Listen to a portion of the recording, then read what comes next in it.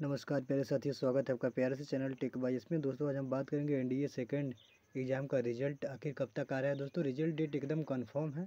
आप लोगों का रिज़ल्ट उसी डेट को आएगा जो मैं डेट बताऊँगा।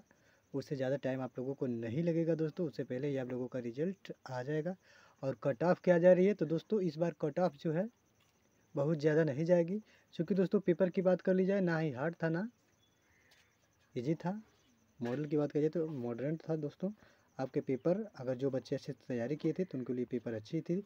तो सबसे पहले दोस्तों बात कर लेते हैं कि आखिर रिज़ल्ट कब तक आ रहा है। तो रिज़ल्ट जैसा कि आप लोगों ने देखा होगा, जनवरी में जो एनडीए का एग्ज़ाम हुआ था तो पंद्रह दिन के अंदर अंदर एनडीए का रिज़ल्ट आ गया था।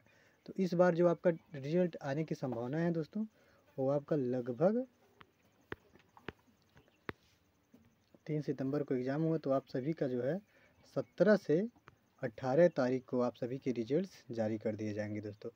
सत्रह अठारह तारीख को आपके कंफर्म रिजल्ट्स जारी कर दिए जाएँगे। उससे पहले भी जारी कर दिए जा सकते हैं दोस्तों, लेकिन ज़्यादा से ज़्यादा सत्रह से अठारह दिन, सत्रह से अठारह तारीख तक आप लोगों का रिजल्ट्स आ जाएगा। रही बात कट ऑफ़ की तो कट ऑफ़ में अगर जो भाई मैथ की बात कर ली जाए तो मैथ में अगर आपके फोर्टी फाइव प्लस क्वेश्चन अगर आप किए हैं, यानी मान के चलिए एक सौ बीस मार्क्स अगर आपके आ रहे हैं मैथ्स में तो आप लोग जो है निकाल लेंगे।